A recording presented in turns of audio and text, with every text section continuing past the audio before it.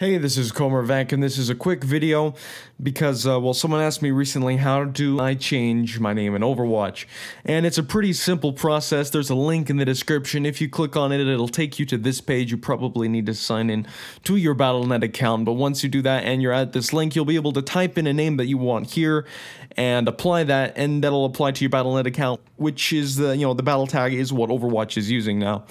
A lot of people, uh, when Overwatch came out, they created Battle.net accounts and with that their name a lot of us already had battle.net accounts and a name associated with that already so you didn't get the name you want. This will let you change that to what you want it to be. Now i'm not going to change mine right now because well i, I like my username but um, from what i read it, it might not be completely instant but it shouldn't take too long before you notice the change. And apparently you can only do this once at least for the time being and uh, I don't know. It's kind of weird that, well, of course, you don't want people to change their name too often, but uh, I heard that maybe they're going to make it so you can pay for your name change later on, but you know, it's kind of goofy. Anyway, thanks for watching. Hope this helped you, especially if you're just kind of, you know, Googling this. And uh, with that, please consider checking out my channel, subscribing, liking, all that good stuff, and I'll be signing off.